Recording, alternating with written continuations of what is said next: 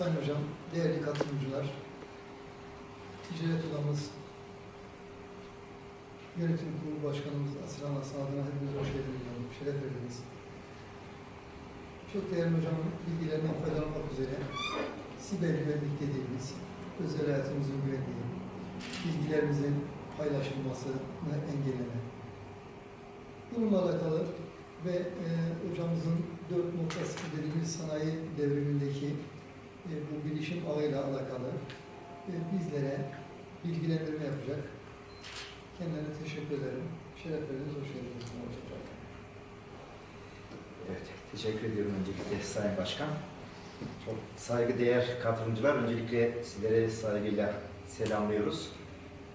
Bu etkinliği özellikle düzenlememizin bir amacı vardı. Bizler e, yaklaşık bir buçuk ay, e, özür dilerim, bir buçuk yıl önce yazılım ve siber güvenlik diye bir dernek kurduk. Ancak biz e, bir farkındalık yaratalım dedik. Yani bu kuracağımız dernek Elazığ özellikle bu bölgeye katkı sağlasın ve işbirlikleri yapabilsin diye e, bir hedef belirledik.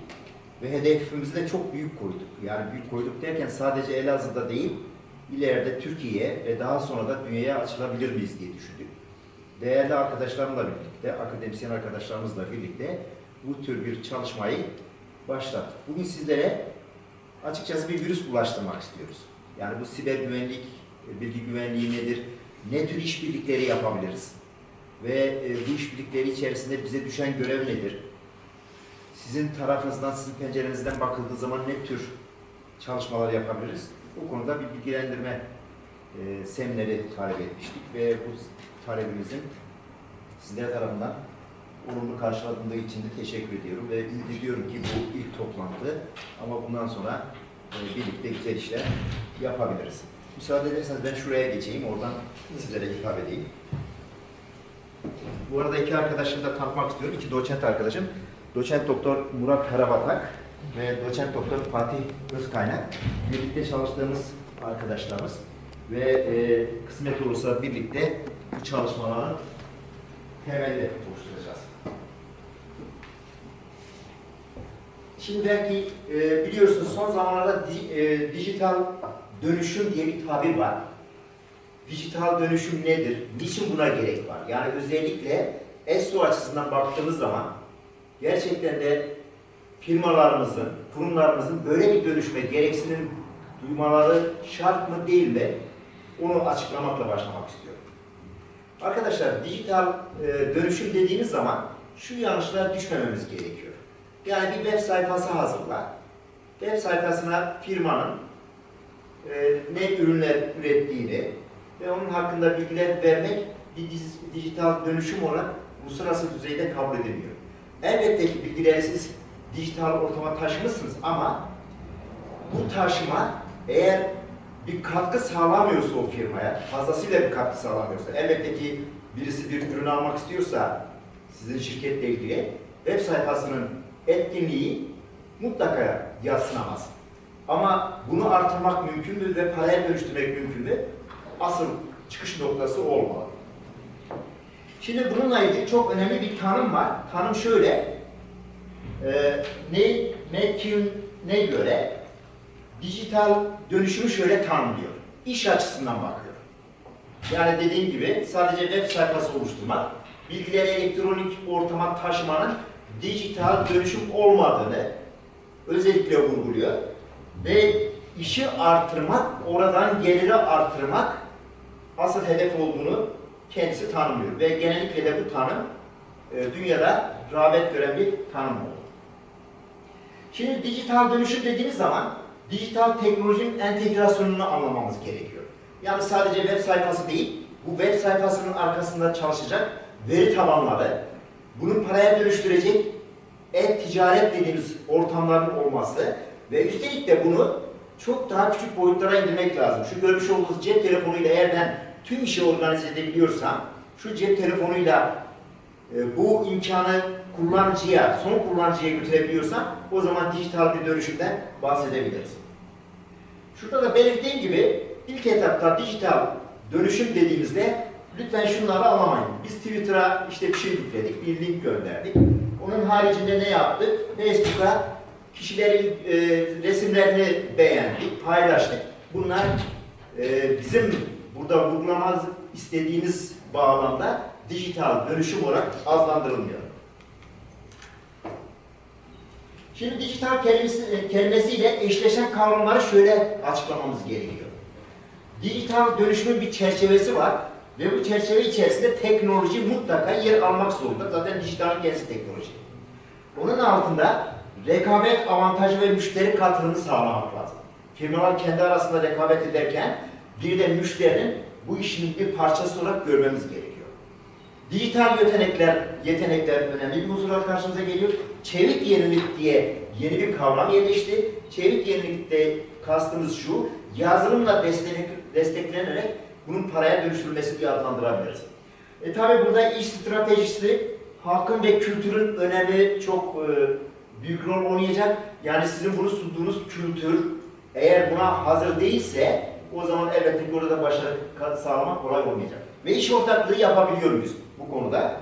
Onunla girmek lazım. Dijital dönüşüm küçük ve orta ölçekli işletmelerin büyük işletmelerle birlikte çalışmasını sağlayan düşük maliyetli araçlar ve stratejiler sağlamalı. Eğer bunu yapabiliyorsak o zaman hedefimiz doğru. Şimdi dijital dönüşüm aşağıdaki faktörler nedeniyle ortaya çıktı. Yani 50 yıl, 60 yıl önce böyle bir teknolojiden pek bahsetmek mümkün değildi. Nedir? Müşterilerin beklentilerindeki davranış değişiklikleri ve taleplerini göz önüne almamız gerekiyor. Yeni ekonomik gerçekler var. Yeni ekonomik gerçekleri siz göz ardı edemezsiniz. Toplumsal eğilim nedir? Mesela Türkiye'de elektronik alışveriş ne kadar oturdu yerine? Biliyorsun birkaç firma bunu başarıyla gö e, götürebiliyorlar. Ve acaba dünyada durum nedir?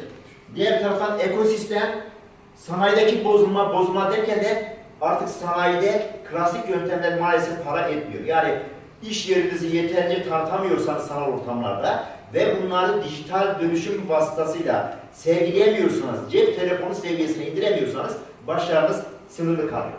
Ve ortaya çıkan veya mevcut dijital teknolojileri kullanamıyorsanız yine sıkıntı çıkıyor. Online shopping dediğimiz yani e-commerce veyahut da internet ortamında alışveriş o kadar e, büyük oranda rağbet gördü ki artık Türkiye'de de firmaların büyük bir kısmı bunu arkasına aldı. Şimdi e, burada Amazon.com'dan size bahsetmek istiyorum. E, biliyorsunuz Amazon.com Türkiye'de de bu e, hizmeti veriyor. Geçenlerde Amerika'dan küçük bir parça, elektronik bir parça sipariş verdim. Düşünebiliyor musunuz? 5 günde elektronik parça Türkiye'ye geldi. Üstelik belli bir meblağa geçmediğiniz sürece gümrük de yok işte. Yani zaten karşı firma onun gümrüğe tabi olup olmadığını da üzerine yazıyor. Onun için ben gidip de bu parçayı Türkiye'de bulmam çok güç olacaktı. Bulacağım bir parça değildi. Ve Amerika Birleşik Devletleri'nden bunu sağlayabiliyor. Bakın bu sayfa ne yapıyor? Bu sayfa girdiğiniz zaman hemen önce sizlere, sizlere recommended for you diyor. Yani sizlere tavsiye edilen, benim geçmişte yapmış olduğum alışverişlerin veri tabanını tutuyor, bunları analiz ediyor ve sonra diyor ki biz eğer Asaf Varol'a şu malzemeleri önerirsek büyük bir ihtimalle bunu alacak diyor, al, al, alabilir diyor. Ve nitekim de bu sağlanıyor. Burada benim için önerdiği bazı malzemeleri burada görerek aldığım çok ürünler olmuştu. Önceden aldıklarımı da burada örneği sergiliyor. Dolayısıyla tekrar almak istiyor musunuz diye burada bir ortam sunuyor bana. Şimdi tabii bu Amazon veyahut da Türkiye'deki diğer gitti gidiyor işte hepsi burada. N11 biliyorsunuz firmalar gittikçe çoğalıyor. Ee, burada alışveriş arttı mı Türkiye'de e, epeyce bir yol aldı. Ama henüz güvensiz bir alışveriş söz konusu. Nasıl güvensiz bir alışveriş söz konusu? Bazı firmalardan aldığınız paket içerisinde çok farklı ürünler çıkabiliyor. Ama büyük şirketler yurt, yurt dışına bunu nasıl garanti altına aldığını birlikte göreceğiz. O kadar güvenli bir alışveriş yapıyorsunuz ki kesinlikle gözünüz arkada kalmıyor. Eğer ürün sahte ise, ürün tanıtıldığı gibi değilse onu geri gönderebiliyorsunuz ve üstelik de firmasından özür diliyor. Tüm ma- masraflarınız varsa onlar da karşılıyor. Demek ki uluslararası alışveriş imkanı sağlıyor. Ucuz, hızlı teslimat. Dediğim gibi 5000 de malzeme buraya geldi. İade garantisi veriyor. Bu çok önemli bir şey. Mesela ya diyorsun ki ben bu ürünü sevmedim. Sadece bunu. Diyor ki niye siz diyor mesela bunu iade ediyorsunuz? Ben sevmedim demek yetiyor.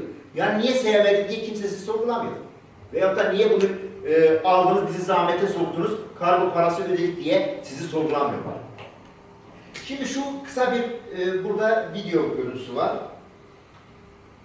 Bunu çalıştırabilmek için e, Murat Bey şu, altta bir yer üzerine şey yaparsan mouse gezdir. Burada bir, bir önceki evet oraya tıkla bakalım çıkmıyor mu? Sanırım çıkmıyor da şeyden taraftan. Bir şeyden çık. E, Tamam onu açalım. Orayı açalım. Amazon ama o mouse'da durmuyor bir türlü hareketli. Şimdi bakın bunu bir izleyin. Diğer ülkeler ne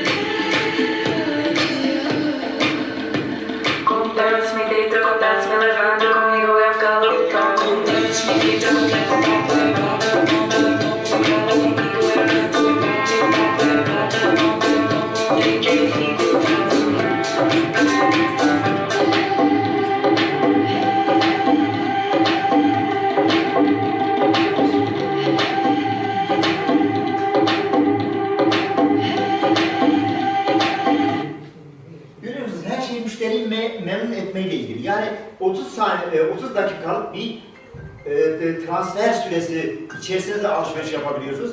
Ve dronlar o amaçla kullanıyor şu anda Amerika'da. Yani teknolojinin dijital dönüşümünün nereye geldiğini güzel bir örneğiydi o. Türkiye'de kırar var hocam o. Nasıl? Taş atarlar nasıl?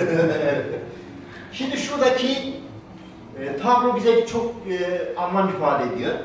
Bu tabloya bir dikkatinizi çekmek istiyorum. Son 2000 yılından 2018 yılına kadar ne tür bir değişim oldu, neler oldu dünyada ona bakıyoruz.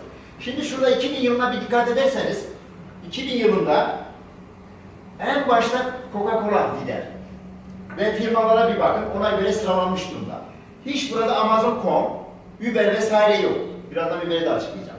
2016'ya geliyoruz ve ilk olarak Amazon orada ortaya çıkıyor. Yani şu şirketin büyümesine bakın.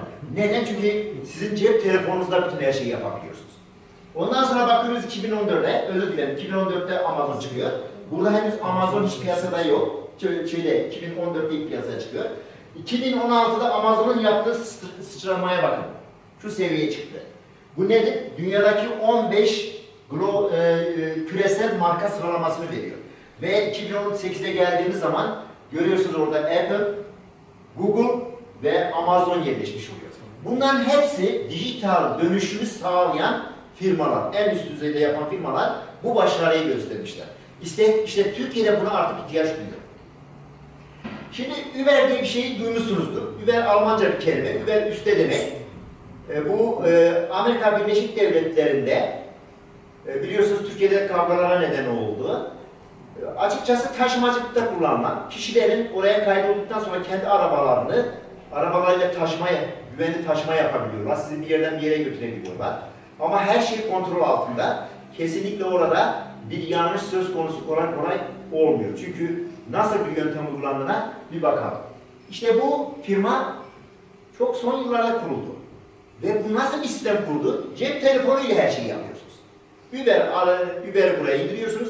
Siz normal oraya kendiniz kaydoluyorsunuz. Diyorsunuz ki ben Uber anlaşmalarını kabul ediyorum. Bir sözleşme yapıyorsunuz, gönderiyorsunuz. Ve ondan sonra birisi size ihtiyaç duyuyorsa, yani nasıl ihtiyaç duyuyorsa, diyelim ki siz diyorsunuz ki benim bir ara havaalanına gideceğim diyorsunuz.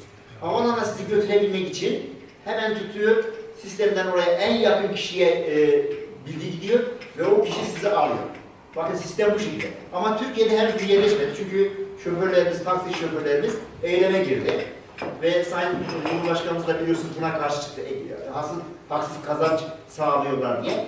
Fakat taksiler unutmasın ki eğer rekabet içerisine girmezlerse, kendilerini yenileyemezlerse mutlaka bir gün mahkum olacaklar ve Uber onların ekmeğini elinden alabilir. Şimdi bu Uber'i artık Amerika Birleşik Devletleri'nde bir oyun haline de getirmişlerdir. Nasıl bir oyun haline? Örneğin bir Uber aracıyla siz çocuğunuzu okula götürebiliyorsunuz. Kendinizi havaalanına bırakabiliyorsunuz. Diğer taraftan alışveriş için kullanabiliyorsunuz. Bunların hepsi sizin cep telefonunuzdan kontrol ediliyor. Şimdi eğer çocuk küçük çocuk seyahati e, dahil olacaksa arabanızı e, çağırırken daha doğrusu orada belirtiyorsunuz. Diyorsunuz ki araba çocuk e, car araba koltuğuyla seyahat etmem lazım. Benim küçük bir çocuğum var diyorsunuz. Ve ona uygun araba size geliyor. Veyahut da siz diyorsunuz ki işte ben onu da kullanacağım. Kendiniz tedarik ediyorsunuz. Şimdi burada nasıl bir güvenlik sağlamış? Güvenlik şöyle, siz çağırdığınız arabayı öncelikle plakası size bildiriliyor, rengi bildir- bildiriliyor otomatik olarak. Siz cep telefonuyla onu kontrol ediyorsunuz. Gelen aracın gerçekten doğru olmadığını kontrol ediyorsunuz. Akabinde tutuyorsunuz. Bunlarla ilgili gizlilik ko- konuları gündeme geliyor. Mesela siz telefonla onu arıyorsunuz ama sizin telefonunuzu değiştirerek veriyor. Anonim hale getiriyor. Dolayısıyla cep telefonunuz o sizi gelip de alıp götürmek isteyen taksi şoförünün eline geçmiyor. Ve siz diğer bir güvenlik daha ekleyebilirsiniz. Örneğin tam evinizin önünde bilmezsiniz. Karşı caddeye geçerek yine bir güvenlik sağlayabilirsiniz. Ve ben şu ana kadar Amerika Birleşik Devletleri'ndeki Uber uygulamasında herhangi bir sıkıntı karşı, sıkıntıyla karşılaştığını duymadım.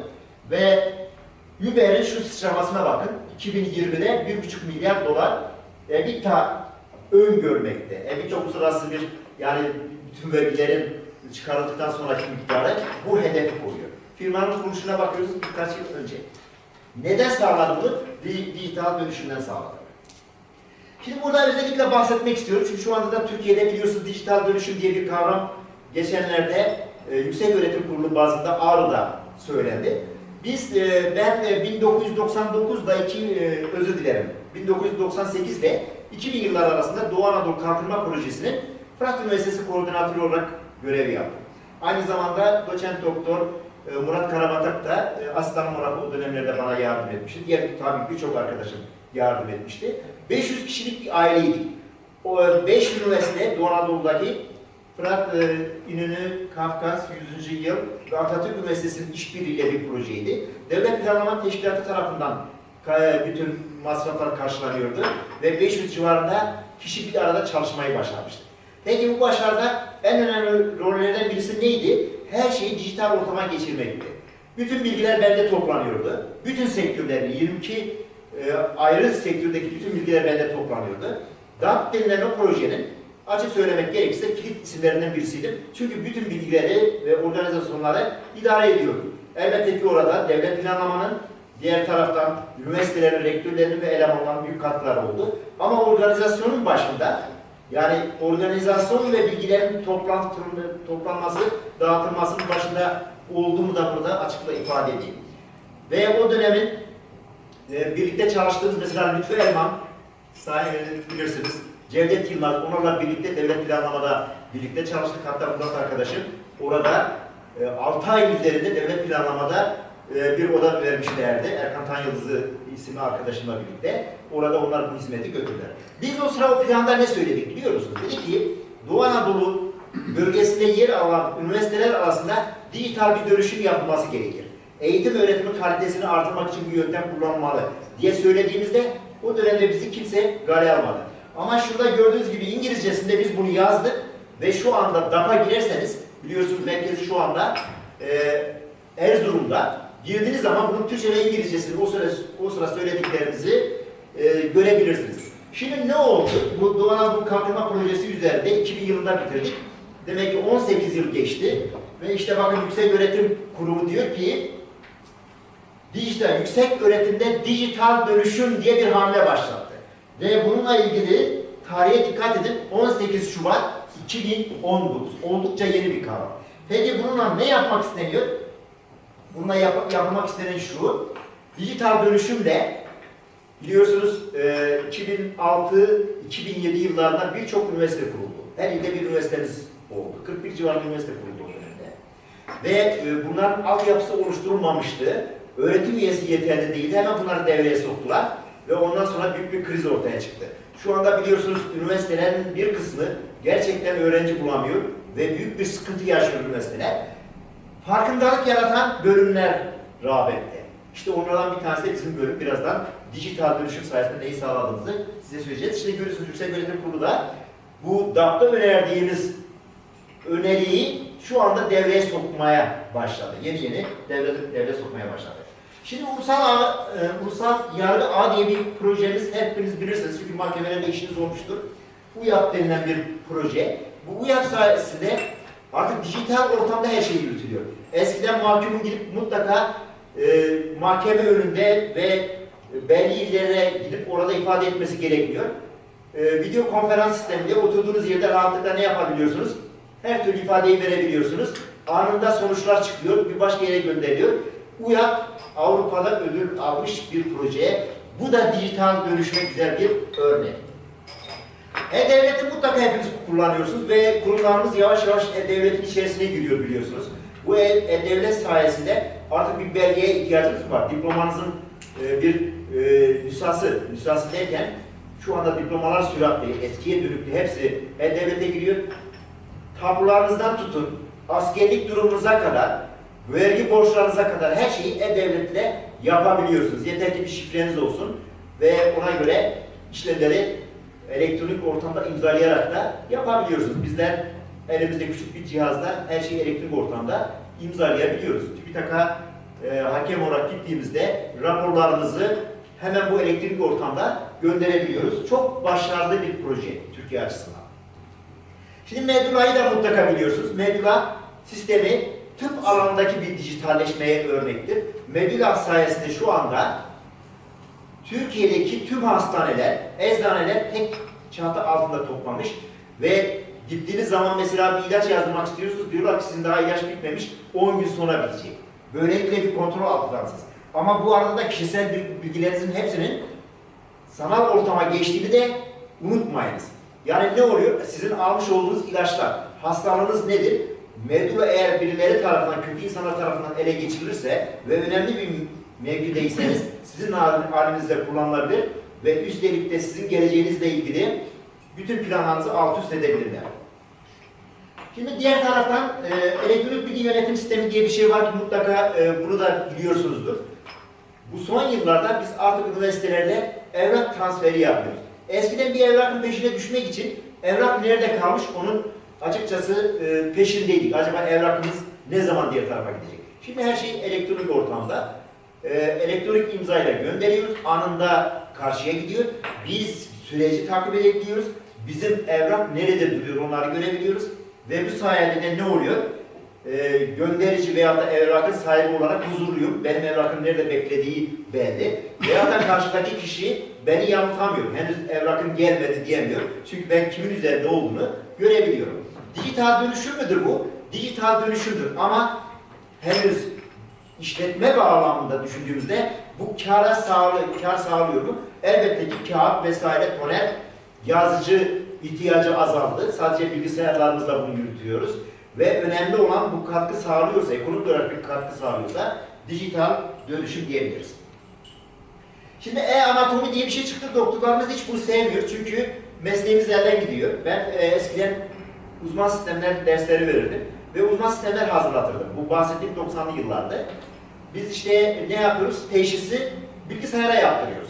Çünkü neden? Bizde büyük bir veri tabanı var. Veri tabanında kişilere sorular soruyoruz. Bu sorduğunuz sorular da evet, hayır bilmiyorum. Sadece üç soruyla siz o kişiyi yönlendirip hastalığın ne olduğunu iyi kötü teşhis edebilirsiniz. Elbette ki insan faktörü mutlaka işin içerisine girmesi lazım.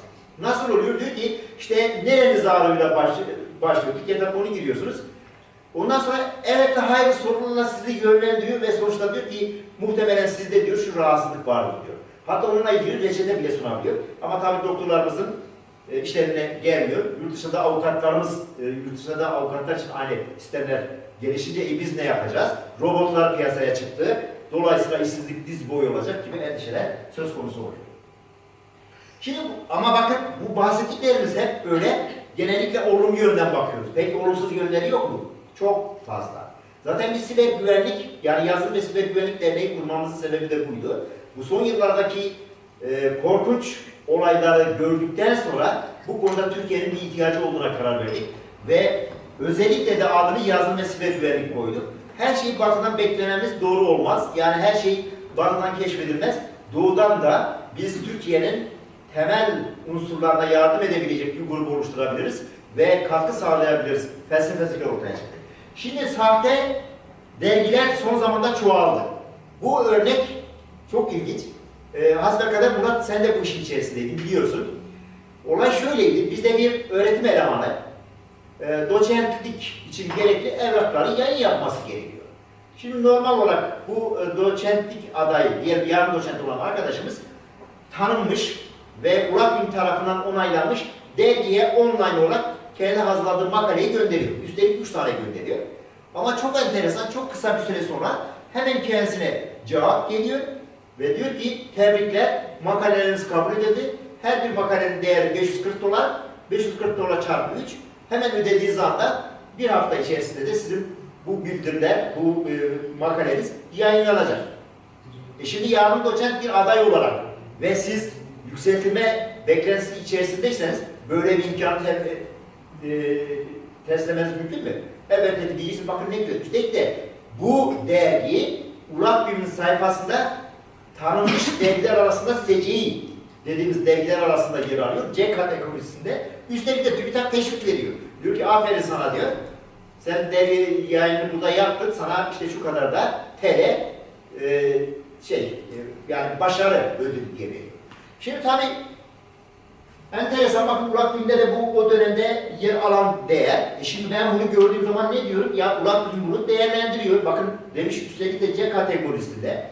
Ben burada tamam 500'e 540 çarpı 3 miktarda bir para ödeyeceğim. Ama bu ne olacak sonradan? Bir an önce doçent olmamı sağlayacak. Diğer taraftan üstelik de TÜBİ- TÜBİTAK 3 tane yayın yaptığım için bana ne verecektir? Ödül verecektir. Yani dolayısıyla bu sahte e, dergilere bir kişinin yayını göndermesi de doğal bir olay. Sonra ne oluyor? Öyle bir sistem or- e, sayısal ortamda geliştiriliyor ki her şey birebir yapılmış. Her şey birebir yapılmış. Yani orijinal web sayfasıyla sahte web sayfası tıpatıp aynı. Siz yalnız oraya gönderdiğinizi zannettiğiniz e, makale sistem tarafından altta çalışan gizli bir yazılımla Ermenistan'a yönlendiriliyor. Sahte sitenin olduğu yere yönlendiriyor. Siz haklı olarak diyorsunuz işte bakın web sayfasına yükledim ben. Ondan sonra da farkına varmadan hemen parayı da transfer ediyoruz. Ve ondan sonra bu Burferia denilen dergi bir web sayfasında açıklama zorunda kaldı. Ve şunu söyledi, şurada görmüş olduğunuz web sayfalarında bizimle ilgisi yoktur, sahtedir. Bu Ermenistan'daki bir bankaya para transfer ediliyor, sizleri uyarırız. E o arkadaşımız da mağdur oldu. Sonuçta 3 tane yayını telef oldu. Ödediği para da işin cavazı. Yani ne yaptı? 540 çarpı 3. 1500 dolar üzerinde parayı e, boşa gitmiş oldu. Görüyorsunuz dijital dönüşümün negatif tarafları da var. Onun için her zaman bir güvenlik söz konusu. Siz bunu güvenlik altına alabiliyor musunuz? Şifreleyebiliyor musunuz? Onları da göz önüne almamız lazım. Peki 20. 21. yüzyıldaki teknolojik değişiklikler nelerdir? Neler olmak olacak diye baktığımız zaman yakın vadeli eğilimler arasında Endüstri 4.0 veya da Toplum 5.0 diyoruz. Diğer taraftan büyük veri, Big Data denilen olay gündeme gelmiştir ve bununla ilgili çalışmalarımız da yapıyor. Korkunç bir veri var. Şimdi biz millet olarak Facebook'ta ki buna en fazla yapanlardan birisi de benim. Her gittiğim yerde ben paylaşırım. Ve benim 5000 civarında 5000 full takipçim var. Ben bunu niye yapıyorum? Ben bunu açık söylemek gerekirse yaptığım çalışmaların hem prezentasyonunu yapmak için hem de bölümümüzü tanıtmak, reklam için de kullanıyorum. Yani biz şunları şunları yapıyoruz. Kitleniz ne kadar büyük olursa dolayısıyla o kadar sizi izleyen fazla oluyor ve bilgi edinmesi o kadar kolay oluyor. Şimdi büyük veri içerisinde bu verilerinizi alarak sizin hakkınızda her türlü işlem çok rahatlıkla yapılabilir. Nasıl yapılabilir? Sizin özellikleriniz, karakterlerinizi siz oraya ekliyorsunuz. Oradan görüntü işlemelerle büyük veriyi analiz ederek ne yapılabiliyor? Sizin hakkınızda çok önemli ipuçları elde edilebiliyor ve bu veriler satılabiliyor. Şirketlere satılabiliyor. Sizin zaaf taraflarınız bellidir. Ondan sonra bir şey otomatik olarak yapay zeka tarafından kontrol edilen sistemler kuruluyor. Giyilebilir teknolojiler, artırılmış gerçeklik, hologram, 3D, e, üç boyutlu baskı ve çizimler artık yaşantımızın birer parçası. Bunlardan uzaklaşamayız. Şimdi burada işte robotları görüyorsunuz. Ben 2000 yılında Milli Eğitim'in e, siparişi üzerine robot kitabını yazan kişiyim. O dönemlerde kodlama, o robot kitabında 580 sayfalık kitap, kodlamayı 2000'li yıllarda önermiştim. Açıp, açıp bakarsanız orada görürsünüz. Onun web sayfamda doğrudan pdf olarak da indirebiliyorsunuz. Bakın son 2-3 yıldır kodlama eğitimi, kodlama eğitimi diye kıyamet kopartır- e, kopartılıyor Türkiye'de. Yani gerçekleri önceden görmek, tahmin etmek, ona göre bir strateji belirtme, e, belirlemek de önemli bir unsur. Uzun vadede nanoteknoloji çok önemli olacak. Genetik, teknoloji, uzay teknolojileri, orta vadede sahillaştırma, robotik, yenilenebilir enerji yine gündemimize girecek. Robotlar insanların yerini alabilir mi? İnsanların yapacağı siber ordular kurulabilir mi? Evet benim endişem şu, ileride eğer siz bu robotları kontrol altında tutmazsanız hackerlar bir başkaları girip de bu robotları kontrolü ele geçirdiği zaman o sizin iman ettiğiniz robot sizi öldürebilir. Robot savaşları çıkabilir. Bunlar hiç de uzak olan şey değil. Çünkü yapay zeka ve e, diğer unsurlar buna imkan veriyor. Şimdi burada robotlar arası bir futbol tur- turnuvasını görüyoruz. İşte yapay, yapay zekayı da arkasına alarak yapılan bir işlem. Şimdi ne yapıyor? İşte robotlar çok ilkel de olsa top oynayabiliyorlar. Peki bu nasıl arkadaşı olduğunu biliyor da topu ona veriyor? Veyahut da rakibini nasıl tespit ediyor? Kareyi nasıl görüyor? Bunlar önceden tanıtılmış ve ama bir de bu topun ortaya düştüğü, düştüğü zaman e, görüntü sensörüyle ha bu toptur diyor. Renge bakıyor, yeşil renkler benim takımın arkadaşlar diyor. Ona yönelmesi artık günümüzde hiç de e, acayip olmayan durumlar ve her yıl çeşitli ülkelerde yapıyor. Japonya'daki en önemli unsur olarak karşımıza geliyor. Peki biz yazılım mühendisliği olarak ne yapıyoruz? Biz de dedik ki dijital dönüşüm yapacağız. Yazılım mühendisliği Türkiye'de devlet üniversiteleri içerisinde Fırat Üniversitesi'nde ilk kuruldu. Çok yeni bir bölüm. 2009'da kuruldu. Şimdi iki rakam vereceğim. Ee, değerli katılımcılar, yazılım mühendisliği öğrencisi sayısı 1405. 5'e kadar söylüyorum. 1400 öğrenci ve grubumuzdaki arkadaşlarıma da baktığım zaman işte 8 tane dinamik genç arkadaşım var. Ama diğer bölümlerden de destek alıyorum. 149 civarında master ve doktor öğrencimiz var. En fazla yabancı uyruklu öğrenci yazılım mühendisliğinde Fırat Üniversitesi'nde. Diğer taraftan yazılım mühendisliği Amerika ile çift diploma yapıyor. Hem Fırat'tan diploma alıyor hem Amerika'dan alıyor. Peki bu yazılım mühendisliğinin farkındalığı ne? Farkındalığı nasıl oluşturduk? Sayısal ortamları çok iyi kullandık. Mesela şu anda geçen yıl dolar 7,5 lirayı gördüğü dönemde burası bir bakıma Vakıf Üniversitesi'nin bir bölümü gibi düşünebilirsiniz. Öğrenci oraya harç ödüyor. Ama aileler ne yaptı? 20 kişilik kontenjan full doldu. 14 kişi, 20'nin 14 kişisi birinci ve tek tercih yaptı. Siz farkındalığı oluşturmazsanız kimse Elazığ Fırat'ı bilmez. Ve kra- tek rakibimiz var İstanbul Teknik Üniversitesi. Onlar da bilişim sistemleri üzerinde yapıyorlar. Onları birinci tercih yapanların sayısı %53, bizim %70. İşte farkındalık bu. Ve açık söylüyorum, bizim hedeflerimiz çok büyük bölüm olarak. Dijitalleşme ve eğitim içerisine bunu koymak için de bir strateji belirledik. Burada yazılım mühendisliği için mantıksal bir model, model geliştirdik. Ve bu modelde kimler paydaşlarımız, neler dijital dönüşüme sokacağız ve neler yapacağız bu iki slaytta onları veriyoruz. Şimdi şurada bir defter görüyorsunuz. Normal bir defter. Sayısallaşma ile ilgili.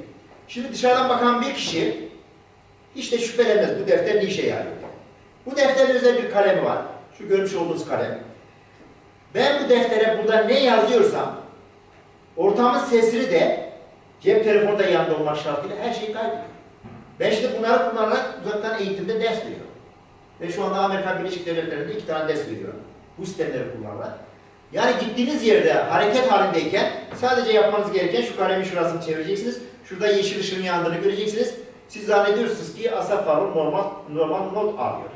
Buradaki toplantının notunu alıyor. Halbuki buradaki tüm konuşmalar, tüm yazılımlar hepsi otomatikmen sanal ortama geçiyor. Basit bir de- defter. Dışarıdan görüşü bu. Bir de cep telefonunuzu kullanıyorsunuz. Diğer taraftan bunu mutlaka hepiniz kullanıyorsunuz. Biliyorsunuz sağlıkla ilgili. Benim her şeyimi takip ediyor. Neyi takip ediyor? Ben kaç saat uyumuşum? Ne kadar yürümüşüm? Neler yapmışım?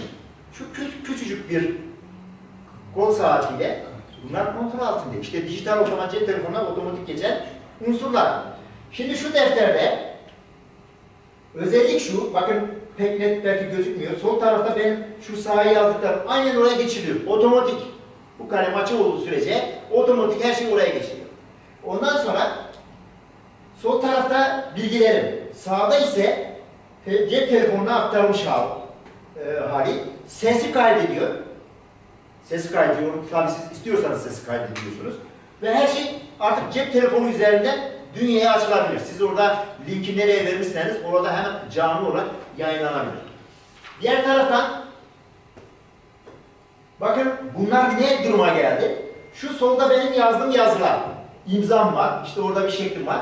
Hemen ne yaptı sağda onu otomatik matbaa harfine çevirdi. Ve Türkçe karakterleri de dahil olmak üzere çok rahat bir şekilde değiştirilebiliyor. Yani Türkçe karakterleri de karşılıyor. Ben oraya resmi ekleyebiliyorum. PDF'lerim varsa onları ekleyebiliyorum. Her şeyi yapabiliyorum. İşte bir defterin dijital dönüşüm bağlamında neler yaptığını örneğin. Şimdi bu bizim e, siber e, yazılım ve siber güvenlik derneğimizin web sayfası. Biz diğer dernekler gibi bir dernek kurup küçük olsun bizim olsun mantığıyla hareket etmiyoruz. Biz gerçekten Türkiye'ye bir şeyler kazandırmak istiyoruz. Bu amaçla yola çıktık. Çünkü büyük bir öğrenci kitlemiz var. Çok değerli arkadaşlarım var. Bunlarla biz güzel bir şeyler yapabiliriz. E, düsturuyla yola çıktık. Ve öncelikle web sayfamızı hazırladık. Web sayfamızda yaptığımız toplantılar dahil hepsini yayınlıyoruz. Örneğin görüyorsunuz şu anda iki tane kamera çalışıyor. Bu aynı zamanda web sayfamızda da yayınlanacak. Çünkü biz ufkumuzu aşmak istiyoruz. Sadece burada toplantıya katılan 20-25 kişiye değil, internet üzerinden derneğimizin çalışmalarını ve neler yapılabileceğini e, kitlelere ulaştırmak için de her türlü teknolojiyi kullanıyoruz. Şimdi bu, te, bu yazılım e, ve siber güvenlik derneği geçen yıl ne yaptı? Yeni bir dernek, bir buçuk senelik bir dernek. Ama bu bir buçuk sene içerisinde biz önemli bir kongreyi geçen yıl e, Antalya'da gerçek, gerçekleştirdik. Bu sene de Portekiz'e gidiyoruz. Portekiz'de aynı şeyi yapacağız. Bir şeye dikkatinizi çekmek istiyorum. Bu e, İSDFS dediğimiz International Symposium on Digital Forensics and Security'nin kurucusu benim.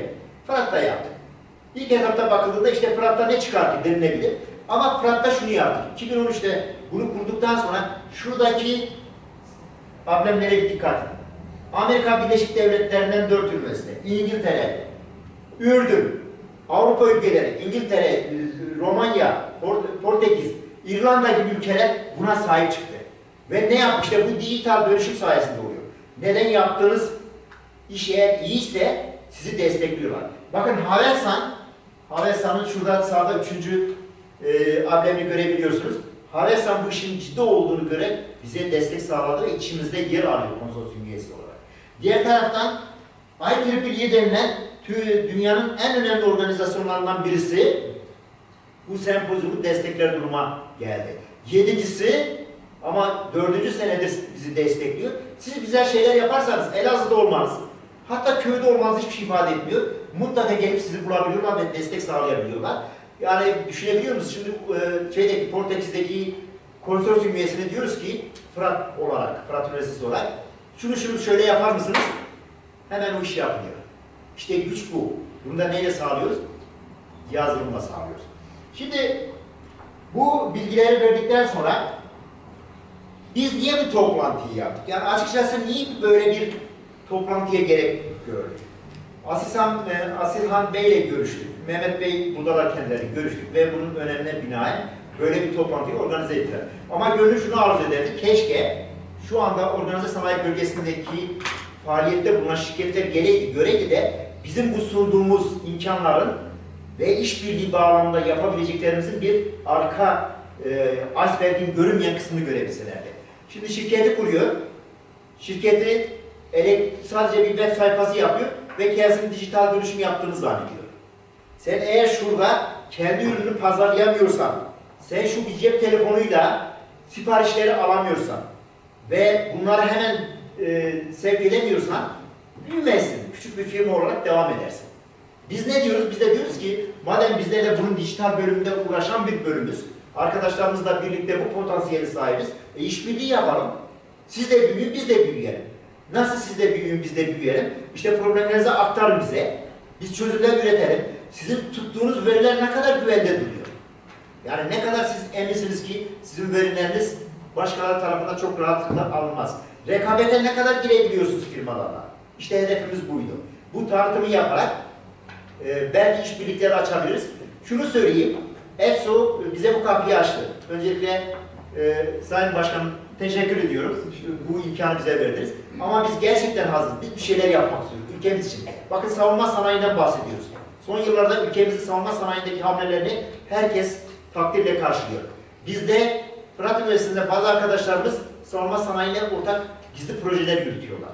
Biz yazılım kısmında önemli görevler üstlenmeyi hedefledik ve yapacağız. Bunu sonuna kadar gideceğiz. Çünkü şu anda bile başladık çeşitli çalışmalar yapmaya. Arkadaşlarım çok genç, çok dinamik ama inanmışlar ve bunun için gönüllü olarak seferber olmuş durumdalar. Milli yazılımı geliştirmediğiniz sürece, dışa bağımlı olarak yazılım geliştirdiğiniz sürece her onların başına gelen, yani sizin şirketinde başına gelecek uçaklarımızın, füzelerimizin her şeyin başına gelebilecek. Siz yazılıma hakim olmalısınız ve yazılımı kontrol eder duruma gelmediğiniz sürece yaptığınız tüm donanımlar maalesef heba olabilir. Kusura bakmayın, değerli zamanınızı aldım. Böyle e, bir e, virüs bulaştırmaya çalıştım size. Yani burada benim anlatmak istediklerim sadece önemli bazı noktalar ve belki burada alınacak bir kıvılcımla bizim dernekle işbirliğine gidilebilir. Çeşitli problemlerinizi getirebilirsiniz. Biz onlara çözüm üretmek için çaba sarf ederiz imkanlarımız dahilinde. Ve birlikte büyürüz. Sadece siz değil, biz de hedefi büyük koyduk. Dünyada ses getiren bir dernek olmak istiyoruz. Yoksa Elazığ'da dernekçilik şu, 850 civarında dernek var. Bu 850 civarındaki dernek kağıt üzerinde gözükür. Doğru düz genel kurullarında işte göstermelik yaparlar. Biz öyle yapmıyoruz. Bizim yaptığımız tüm toplantıları web sayfamızda bulabilirsiniz. Hedeflerimizi bulabilirsiniz. Projelerimizi bulabilirsiniz. Bu farkındalıktır. Bu dijital dönüşümü benimsemedir. Ümit ediyorum bir ışık verdik size. Ee, sorularınız varsa daha sonra da alalım. Çünkü Murat Bey de toplantıya gidecek. Ee, Murat Bey geçti mi? O zaman gidemiyorsun. O zaman varsa sorularınızı alalım. Önce benimle ilgili, sonra iki arkadaşım çok değerli arkadaşlarım kendi alanlarıyla ilgili bilgiler verecekler. Ki mesela e, kriptoloji ile ilgili e, Fatih hocamız Türkiye'deki nadir öğretim üyelerinden bir tanesi. E, Murat Karabakan hocamızın veri taban bakımından gerçekten ses getiren çalışmaları yapan bir arkadaşımız. Onları da bir dinleyelim neler söylüyorlar. Ama sorularınız da varsa şimdi size cevap vermeye hazırım. Öncelikle teşekkür ederiz. Doğrusu ben bu derneğin varlığını bu yıl bizim ticaret odasının müracaatının sonucunda öğrendim.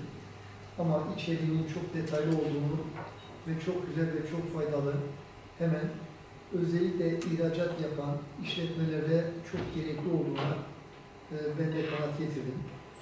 E, bunu bize çok kısa, öz olarak bir e, ticaret odamıza verirseniz bu yapacağınız şu andaki kısmın çok özetini, biz onu firmalarla paylaşır, e, bu farkındalığı onlarda da uyandırmaya çalışırız Hocam. Teşekkür ederim. Yani böyle bir katkı sağlamak ülkemizin geleceği için önemli. Evet. Biz bir amacımız var. Milli yazılım, milli güvenlik sağlama, firmalarımızı rekabet edebilir, uluslararası düzeyde rekabet ede- edebilir duruma getirmek. Bunlar da gerçekten uzak şeyler değil. Yani Elazığ'daki e, firma sahipleri şöyle düşünmesi, ya zaten benim ne ki Elazığ'dayım işte. Vesaire ki nitekim var işte biliyorsunuz ihracat konusunda çok iyi firmalarımız uluslararası düzeyde yapıyor. Ama dijital denen ortamı çok daha iyi kullanabilirlerse eminim ki şu andaki getirileri işte Amazon.com'un büyümesini size gösterelim, gösterelim özellikle. 2014 ve 2018 yılı arasında 3. sıraya gelişiyor. Yani dijital ortam destek olarak alınırsa o firmalar uçmuş. Ama 2000 yıla bakıyoruz Coca-Cola en başta. Aşağıda düştü. Teşekkür ediyorum ve biz hazırız konuya. Ee, şimdi sana odası olarak çok memnun olduk böyle bir e, bize seminer düzenlediğiniz için aydınlatıldık. E, bizde doğrusu bu bilişim sistemleri 4.0 ve 5.0 konusunda bu kadar ileri bir çalışmalarınız olduğunu gördük, çok mutlu olduk. İnşallah bunu biz üyelerimize paylaşacağız. Teşekkür ederim. Tamam. Sana Zaten mahiyeti- söyleyeyim başkanım, şimdi biz bunları YouTube'a da atacağız. Linklerini de vereceğiz. en azından görmeyen arkadaşlar Ama boş biz vakitte de bir sağlarız. O da olur Sayın Hocam. Evet, onu da yapacağız. Yani dolayısıyla bilgilendirme, amacımız bilgilendirme ve e, özellikle sanayi, sanayici arkadaşlarımızın yeni kaplara doğru gidişini sağlamak. Teşekkür ederim. Hocam bir de şöyle bir problem var. Bizim firmalarımız dijitalleşmeyi küçümsüyor. Yani buraya aktaracağı paralara böyle çöpe atmış gibi bir gözle bakıyor. Maalesef zaten Bir yanlışlık o. Yaptıracaklar. Yani en basitinden yani onun bile pazarlığına yani yaptırmadan, derdini anlatmadan karşıdaki mühendise onun bile pazarlığını yapmaya girişiyorlar. Yani bir 10 bin lira vermediği sürece bir web sitesine hiç kimse bir verim beklemesin o web sayfasında. Bunu elden dokunmadıkları için yani bir şeymiş gibi muamele yapıyorlar. Hani boş bir işmiş gibi yapıyorlar. Sonradan Biraz niye biz öyleyiz? tanıtımızda eksikliğimiz var diye de olabilir mi Yani ben o çok öyle büyük. düşünüyorum. Tabii ki yani bunların hepsi Yani bu mutlaka, şimdi mesela doğrusu hocam anlattı, ben etkilendim. Yani şu anda kendi kurumum için kafamda bir şeyler tasarlıyorum. Evet. Yani bunu ben ama ilk defa gördüm. Bilmiyorum doğrusu böyle bir deneyimini de bilmiyorum. Belki birçok insan da yoktur. Yani bu bilinç oluşmadığı sürece bu bizim firmalarımız yani işte en fazla yani kendi çaplarında bölge ilgilere yani bu, bu seviyede gidecekler yani bunun başka şey yok. Katılıyorum ama tanıtmak lazım. Evet, tanıtılmadan olmuyor. Olmuyor. Yani e, Evet. dediğim gibi e, bizim bölüme o uluslararası ilişkiye, gel, e, uluslararası çift diplomaya gelen öğrencilere bakıyoruz. Evet. Hep İstanbul, Ankara, Batı'da, Elazığ'da 2-3 tane var. Gidenlerin hepsi orada çok rahat iş buldular. Üniversitelerde master doktora imkanı buldular. Türkiye'ye dönenler TÜBİTAK Bilgen'de işe başladı. Hakikaten bu. Dışarıdan baktığınız zaman ya Fırat Üniversitesi'nin bir bölümü. Ama bu bölüm şu anda Türkiye'de rakibimiz, rakibimiz teknik üniversite. Açıkça onlara da söylüyorum. Biz onlara geçmiş durumdayız. Farkında değiller. İşte bu fark. Hocam organize sanayi bölgesinde de yaptık. Böyle bir Yok, bunu ilk defa burada e, ilk defa burada yapıyoruz. orada da yapmamız belki gerekecek. Evet, belki orada bir söylememizde yarar var. Yani e, dediğim gibi biz geçen sene işte o e, kongreyi düzenlemeyle ilgili deneyimizin en büyük faaliyetlerinden bir tanesi oydu. E, birkaç faaliyetimiz daha oldu ama bu yazılım işine zaten e, girdik de bazı yazılımlar ge- yaptık. Mesela Fatih arkadaşım geliştirdiği bazı yazılımları çeşitli kongrelerde gidip sunuyor. Kriptoloji üzerine. Yani siz bir şeyi şifrelemeden bir yere gönderirseniz o çok rahatlıkla başına birçok iş gelebilir. E, ama bunları yapacağız, inanın ki yapacağız. Yani birebir gitmek gerekiyor aslında. Belki burada ticaret odamıza veya organize sanayi bölgemizin yönetimine de iş düşüyor. Birebir sanayicilerimize komitelerimize mesela bu toplantının duyurulmasıyla ilgili ben olsaydım e, özür dileyerek çok farklı davrandım. Yani buna bir kere inanmak lazım. Ya bu bize katkı sağlayabilir. Bir kere yerel televizyonlarda 2-3 gün sürekli bir şey sağlar. Evet. Yani sadece bir kısa SMS göndererek. Ondan sonra bir sadece bir SMS ile bu iş olmuyor. Yani ben e, açık söylemek gerekirse şimdi keşke bu aşağıdaki salon tıklım tıklım olaydı. Bilgi paylaşımı daha büyük gruba yapaydı. Daha çok kişi faydalansın.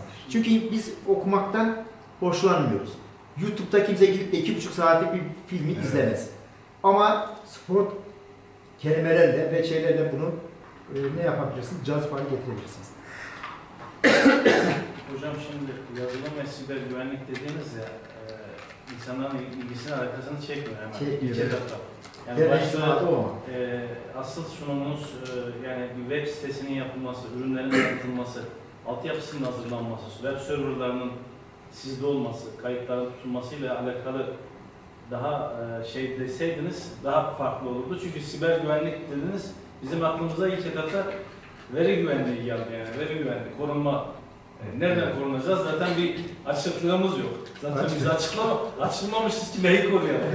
Ama bir açılırsanız Tabii. e, Fatih Bey'e söyleyeyim sizi dinleyebilirsin. Şöyle bir şey bizden yanımı düşündük aslında. Hani hepimizin bildiği şey vardı diye Şaban Bey kızı cama taş atıyor sonra o da camcı diye şeyden çıkıyor.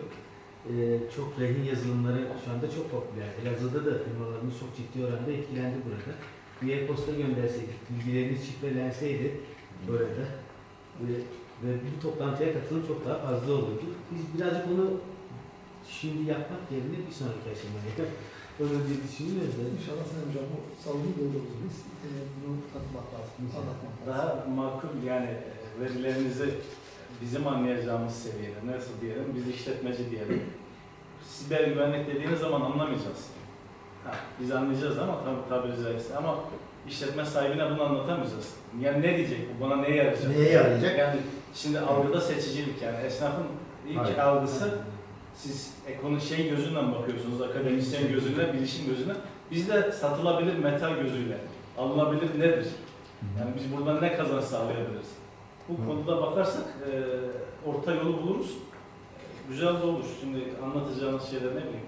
Altyapısını hazırladınız siz. Yazılımın, güvenlik, sistemin. Biz siteyi kurduk. Yani herhangi bir sitede güncelleştirme bile yapamıyoruz. Bizim internet sitelerimiz 3 yıl önce kim kurmuş, işte kurmuş falan firma. Ha, telefonlarımız görünüyor. Yani sistem onun üzerinde gidiyor. Daha makul seviyede, bizim anlayacağımız ölçüde firmaların algılarına göre biraz daha indirgersek altyapıyı sonra da Haklısın. genişletiriz. Yani e, tabiri caizse halk diliyle konuşabilmemiz lazım. Şimdi onu da niye yapmadığımızı da söyleyeyim. Şimdi önce derneğimizin bir adını kullanalım dedik işte. Yani milletin kafasına bir siber kelimesini e, yerleştirelim dedik. Ama hedefimiz başka. Yani adı siber ama güvenlik kısmı bu. Yazılımın yazılımı kullanarak dij- dijital dönüşümü sağlayarak firmalarınızı büyütme. Hedef bu. Hocam şimdi şey var ya, ekonomik kriz de var ya, esnafların biraz algısı tabii tematik olarak acaba siber nedir derse geri çekiliyorlar. O yüzden güzel yani sunumunuz güzel, işleriniz güzel. E, bunu da bizim yaymamız lazım. Evet sağ olun. Hocam Teşekkür 5 dakikanızı alabilir miyim? Ben Tabii. aslında toplantıdan sonra sizinle görüşmek istiyorum. Tabii. Ee, Değerli oda üyemiz de böyle. Mehmet Bey tanıyor bizi. Aslında bu toplantının böyle e, şu andaki haliyle olması bir derece iyi oldu. Abimizin söylediği meseleyle ilgili bir sonraki toplantıya bizim bir katkımız olabilir şöyle. Şimdi biz 2005'ten beri bir yazı, yazılım üretiyoruz. Ee, En son bunu 2017'de ARGE İnovasyon Projesi olarak e, KOSGEB'e sunduk. En sonunda ARGE İnovasyon Başarı Belgesi aldık. Şimdi bize Tekno Yatırım hakkı doğdu. Sebebi şu, e, geliştirdiğimiz ürün Türkiye'de yok. E, geliştirdiğimiz ürünün e, mahiyeti Wix, GoDaddy, WordPress, Joomla. Hı hı. Yani bunlar ne? Bunlar dünya markası. Bunlar web sitesi yapma makinesi. En kolay bir şekilde web sitesi yapabiliyorsun onlarla. Abimizin e, ızdırabını çektiği sıkıntıyı da orada kısmen yaşamıyorsunuz. Kendiniz cep telefonundan girip herhangi bir kodlama ya da bilgi iş- iletişim e, Gerek kalmadan. kimseye kalmadan değişikliği yapıyorsunuz. Şimdi bizim ürettiğimiz ürün güzel olan tarafı şu, dördünden de iyi. Bunu 10 ilde reklam ajanslarıyla yaptığımız görüşmelerde de teyit ettik. Üniversitede de yine bu konunun uzmanlarıyla teyit ettik. Onlardan daha iyi. Hem daha rahat kullanılıyor, hem e-ticaret özelliği var, hem cepten idare edilebiliyor gibi sair özellikleri var.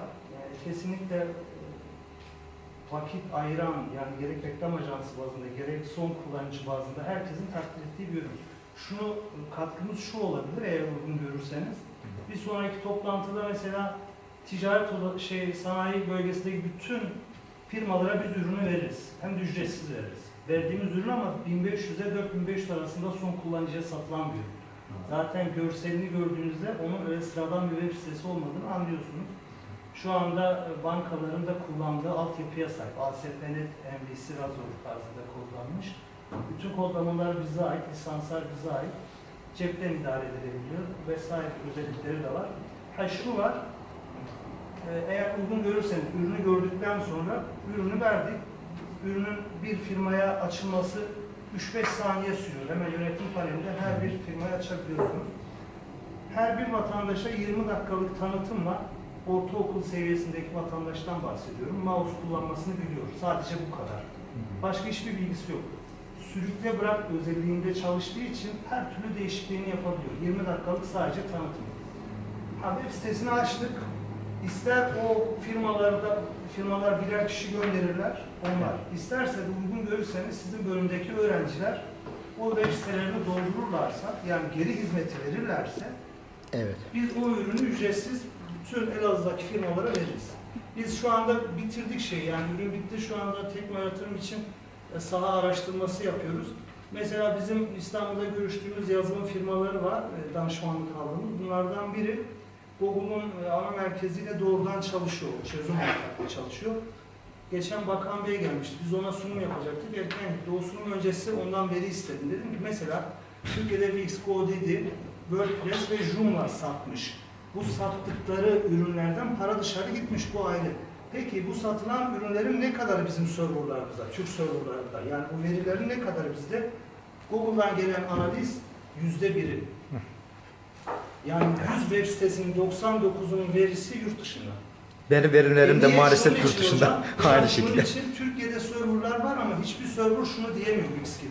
Benden domain'a hosting al ben sana web sitesini bedava vereceğim diyemiyor. Diyemiyor. Çünkü böyle bir ürünü yok Türkiye'nin.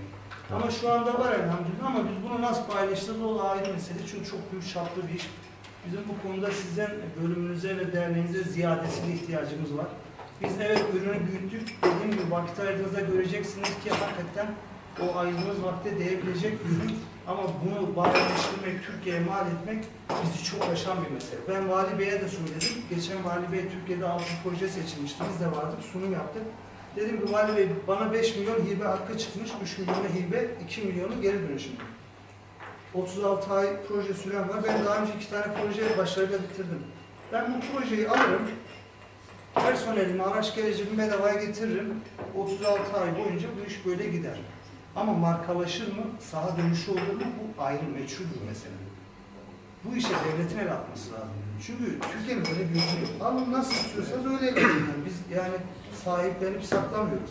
Neresinden tutacaksınız? Orasından tutun.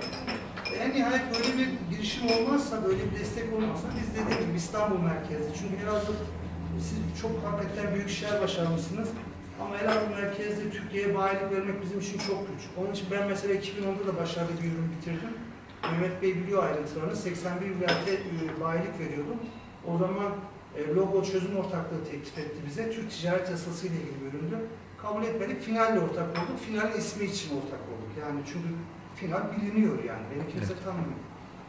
E şimdi mesela tekrar bayilik yapacağız. İstanbul merkezi yapmayı düşünüyoruz. Ama mesela siz destek olur. Bu işin yol haritasını çizerseniz Fırat merkezli de olabilir. Elazığ merkezli problem değil. Yeter ki ürün ölmesin. Anladım. Yani mesajınızı aldık. İnşallah işbirliği yaparız. Bir araya geliriz ve e, iki taraf birden büyür. İnşallah. Yani inşallah onu gerçekleştiririz. Buyurun. Evet. Başta bize saati yapan Şeref Sports olmak üzere tüm katılımcıları sevgiyle saygıyla selamlıyorum. Hocam da dediği gibi toplantım var, gecikme olarak katılacağımı söylediğim için müsaadenizle sunumdan sonra istiyorum. Onun için aklınıza sığınıyorum. Ben biraz veri güvenliği ile ilgili bahsedeceğim. Aslında çok genel sosyal bilgiler vereceğim. Ee, sonuçta hocam da bahsetti. Artık her şey dijital ortamda. Bütün verilerimiz dijital ortamlarda, veri tabanlarında saklanıyor. Ve iddia ediyorum şu an hiç kimsenin verisi güvende değil. Tek şansımız var, bilim dediği gibi alıyorsunuz bir kişiye çıkıyor. Belki de biz o şanssız kişiler değiliz, o yüzden biraz da sağlamdayız. Eğer bugün birisi, birisi üzerinize gitse de bu e, verileri çalayım, bozayım, sileyim diye düşünse emin olun büyük ihtimal verileriniz elden gidecektir veya verecektir. Tabi verinizin ne kadar önemli olduğuyla da ilgili bir durum. Kimisi diyebilir ki benim verim hiç önemli değil, gidebilir, sorun değil ama çok da önemli olabilir ki eğer kurumsal olarak baktığımız zaman aslında verilerimizin önemsiz olduğunu düşünemeyiz. Gerek bireysel olarak da baksak, bugün bilgisayarda tuttuğum yüzlerce geçmiş yıllardan fotoğraflar var mesela. Emin olun bunlar yok olsa veya bir sene geçirse dese ki şu kadar parayı vermezseniz size bu e, verilerinizi geri vermeyiz, şifrelik deseler belki de büyük meblağları gözden çıkartmak zorunda kalacağız. Tabii veri güvenliği çok geniş bir kavram. Sadece aklımıza şu gelmemeli. Veri güvenliği nedir? Birisi bir hacker saldıracak, verimizi silecek, çalacak ve bunları kötü amaçlı kullanacak değil. Aslında veri güvenliği çok geniş bir kavram. Ee, bir elektrik gitmesiyle, eldeki verilerin gitmesi olabilir, sistemin çökmesiyle verilerimiz gidebilir. Her türlü e, yaklaşım veri güvenliği kapsıyor aslında. Ben biraz daha belli bir boyutuna girip günlük hayatta ne tür veri güvenliği sıkıntılarıyla karşılaşıyoruz, nelerle karşılaşıyoruz, onlarla ilgili kısaca bilgiler ve bazı belki güvenlik önlemleri, birçoğunu belki biliyorsunuz, birçoğunu belki e, farkında değilsiniz, yaptığınız bazı yanlışlıklar var. Onlarla ilgili bir farkındalık oluşturmaya çalışacağım. Bahsetmiştik zaten, bütün veriler bilgisayar ortamlarında dünyada ektabaytlarca veri depolanıyor. Hatta e, bir çalışmaya göre her yıl depolanan veri miktarı bugüne kadarki bütün toplanmış verilerin iki katı kadar her yıl artıyormuş gibi böyle e, veri miktarının ne kadar arttığı ile ilgili çalışmalar var. Tabii veri güvenliği nedir? Verilerinizin kullanım ömrü boyunca yetkisiz erişime vermek önemlerinden biri de phishing dediğimiz oltalama Türkçesiyle veya sonarlama dediğimiz bir yöntem. Bu da yine günlük hayattaki balık oltalama mantığıyla biz denize girip de balık tutmak istersek bir oltayı atıyoruz. Belki milyonlarca balık sürüsünden bir taneyi yakalıyoruz. Ama o bir tane bizi mutlu ediyor diyor. Evet balık yakaladık. Birkaç defa yakaladığımız zaman bizim için değerli. Bu da aynı mantıkla çalışıyor. Size istenmeyen yüzlerce binlerce kişiye yine bizim kaybettiğimiz e-mailler. Çünkü biz maillerimizi birçok kişiye paylaştırdık. Bize mail geliyor ve bu maillere milyonlarca kişiye gönderdiğinde atıyorum sadece 100 kişinin, 3 kişinin, 5 kişinin, belki 1 kişinin o maile yanlışlıkla geri dönmesi bir sürü size zarar veya veri güvenliğini tetikleyecek zarar olarak geri dönebiliyor. Mesela burada bir tane bununla ilgili örnek vereyim. Ben Papa Amerika'dan bir bakıyorsunuz ki mail gelmiş. Bu kim? Bu mail attı size. Kötü niyetli bir kişi attı. Diyor ki hesabınızdan işte para çekildi veya hesabınızla ilgili bir sorun var diyor ve size burada Bank of America'nın linkini vererek girip hesabınızı kurtarın veya geriye alın diye size mail atıyor. 1 milyon kişiye bunu gönderdiğini düşünelim ve bunlardan sadece 100 kişisinin, 1 milyonda 100 kişisinin bu linki tıkladığında belki link yazı doğru bir adres ama şurada o linkin verildiği, gideceği yer yanlış bir yer. Yanlış yere gittiğiniz zaman karşınıza Bank of America'ya girmişsiniz gibi tasarlanmış bir web sayfası çıkıyor. Ve siz oraya bilgilerinizi girdiğiniz gibi banka hesabınızın belki kullanıcı numarası ve şifresi otomatik olarak karşı tarafın veri tabanına kaydediyor ve verinizi, daha doğrusu banka hesabınızı ileride kaybetmiş oluyorsunuz. Yine başka şekilde bakın Amazon.com az önce bahsettik. Amazon.com'un kendi sitesi ve sahte bir site. Linki tıkladınız, Amazon.com'a gittiğinizi sandınız. Sadece ne yapmış? Amazon.com oradaki mail ne yapmış? Ve kendisine bir soru oluşturmuş. Aynı sayfayı kopyalayıp benzer bir şey oluşturmuş. Ve siz buraya diyorsunuz ki Amazon.com'a giriyorum. Kullanıcı adınızı şifrenizi yazıyorsunuz. Hata veriyor belki sistem. Diyor ki girişiniz gerçekleştiremedi. Ama o girdiğiniz bilgiler otomatikman bir başkasının eline kaydedildi ve geçti. Amazon hesabınızda ne varsa hepsini ele geçirmek üzere ne yapacak? Kullanacaktır. Yine aşağıda birkaç tane örnek verdim. Mesela burada gmail.com gibi görünüyor. Burada özellikle bazı harfler birbirine çok benziyor. M yerine RN'nin yan yana gelmesi sizi aldatabiliyor. Gerçek site sanıyorsunuz. Tıklıyorsunuz ama başka yere gidiyor. Şu aşağıdaki hotmail.com gibi görünüyor ama değil. Bir fark var mı? Yok. Şuradaki L aslında L değil büyük I. Harfi yani. Ama siz baktığınız zaman diyorsunuz evet Hotmail. Linki tıklıyorsunuz, giriyorsunuz. Yukarıda gibi belki sanıyorsunuz. Tabi browserlar bazen bunu küçük harfi diye ayrı bir şey. Ama buna güvenip de girdiğiniz zaman Hotmail'in sayfası karşısına çıkacak. Kullanıcı şifrenizi girdiğiniz zaman e-mailiniz otomatikten çalınmış olacak. Bunlara dikkat etmek gerekiyor. Nedir önlemi? En fazla yapılacak önlem bu tür giriş yapılacak yerlere linklerle tıklayarak değil, bildiğiniz adresleri direkt klavyeden girerek ve hatta emin olduğunuz zaten sık sık kullanılan sayfaysa browser'a girdiğinizde zaten otomatik kendisi dolduruyor burayı. Bu şekilde kullanarak belki böyle oltalama gibi yöntemlerden kurtulabilirsiniz. Yine bu benim e-mail adresimden alınmış. Ben kendim hemen görüntüsünü aldım, getirdim. Mesela bakın iCloud yazdığım zaman iCloud'dan gelen bir sürü mesaj gelmiş bana. Özellikle şu ek görünenler aslında ben de kullanıyorum iCloud'u, şey, iCloud'u. Burada bazı ödemelerim var. İlgili bilgiler geliyor ama arka planda bir de Apple Service'ten bazı e-mailler alıyorum. Sık sık aldığımız bir durum. Özellikle kullanıyorsanız geliyor. Mesela diyor ki bir değil password, şifre değişikliği ile ilgili bir güvenlik sorunu var. Hemen bana bir ek göndermiş. Bunu tıklayıp, tabii tıklamadım. Çok da merak ediyorum içinde ne var diye aslında.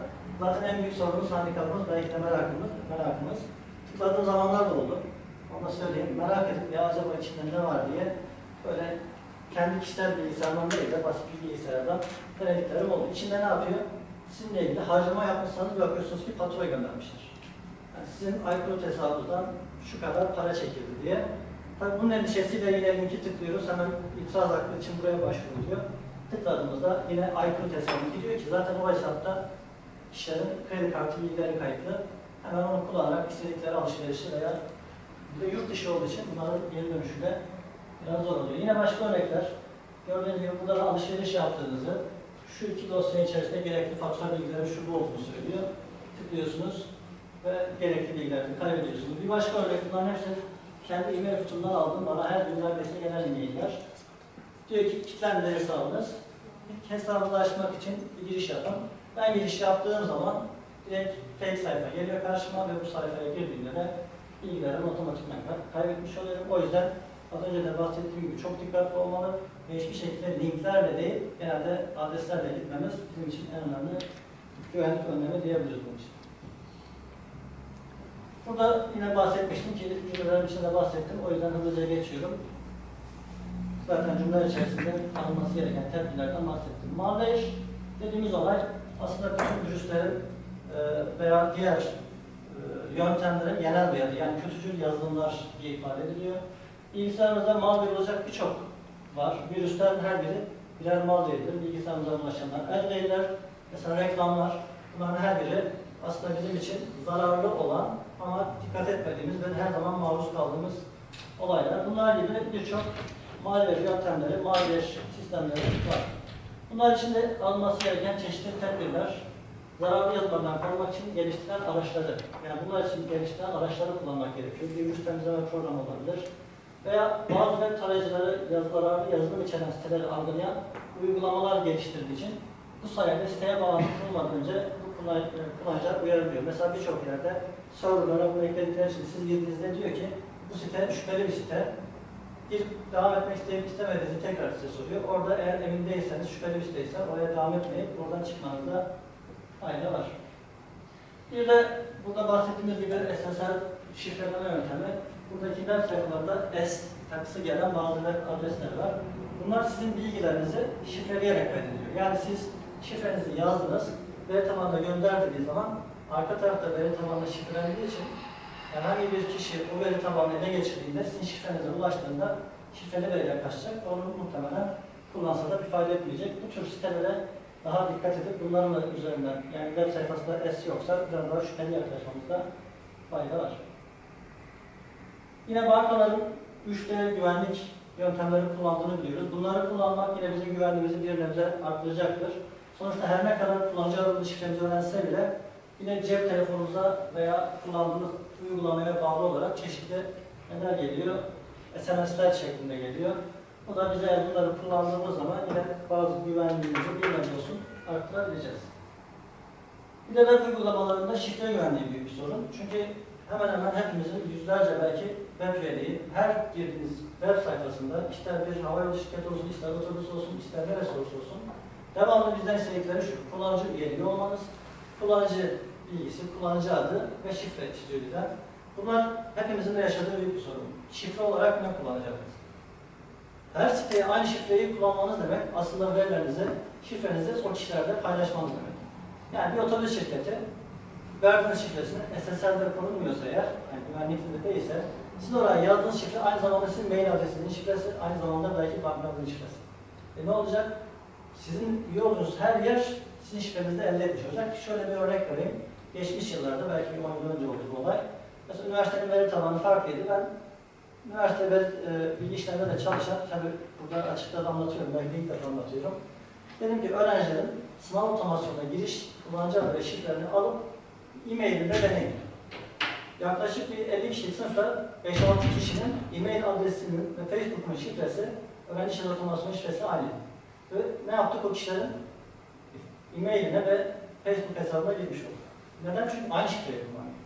E zaten her siteye yüzlerce şifre kullanma şansımız yok. E ne yapacağız? Yine güvensiz bir yöntem. Belki bir yerlerde cep telefonumuzda kaydedeceğiz. Mesela bunlarda cep telefonunda uygulamalar var. Şifre kaydedici uygulamalar. Cep telefonunu alıyoruz. Şifre kasası diye uygulama ve benzeri birçok uygulama var.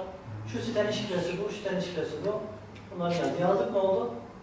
Yine uygulamayı yazan kişiye belki. Farkında olmadan. Eğer güvenli kişilerdeyse yine şifremizle birlikte. Bununla ilgili tabi önlem almak zor. Ne olabilir? Belki birkaç tane şifre e, kombinasyonunuz olur. Bunları tek tek deneyerek nasıl 4-5 tane var ama çok büyük bir önlem değil. Bunu ancak şöyle bir öneri daha önce getirmiştik. Yine getirebiliriz. Kendi oluşturacağınız bir algoritmayı siteye giriş için şifre olarak kullanabilirsiniz. Ben bunu kullanıyorum. Bazı her yerde olmasa da çünkü temel şifrenin haricinde özellikle birçok sitede kullanmam gerekiyor. Sonuçta girdiğiniz adresin belli bir neyi var? Adresi var. Hotmail.com mesela veya murat.com. O Murat'la kendi şifremi kombine ederek yeni bir algoritmayla bir şifre üretirsem istediğiniz zaman ne kadar farklı sitelere girdiğinde şifrenizi üretirseniz üretin, hiçbir zaman unutma şansınız olmayacak. Mesela örnekle göstereyim. Bunlar tabi uydurmaca şifreler, sadece örnek olsun diye anlattım. Mesela murat.com adresinde şifrem 146853. Karabatak komşesinde 145553. Diğerinde 57691T falan gibi. Bunlar örnek olsun diye söyledim. Mesela ne yazsa şifrem 1453. Çok değerli kullanıyoruz. 1453'ün 14 ile 53'ünü alıp işte Murat.com'un M ve T'sini sayıya dönüştürüp kendine bir şifre ürettim. Hangisi olursa olsun. 1400 bu şifre yerine geçiren kişi hiçbir şekilde benim başka siteme giremeyecek. Önce benim algoritmamı çözmesi lazım. Ben zaten algoritmayı kendim biliyorum ve sadece bir yere verdiğimiz için çözme şansı da çok zayıf olacak. Ve bu şifreyi ben Karabatak.com sitesine girdiğim zaman yine 1453, 1453 sağda solda KK ile bittiği için 55'i araya ekledim. Oradaki şifrem bu oldu.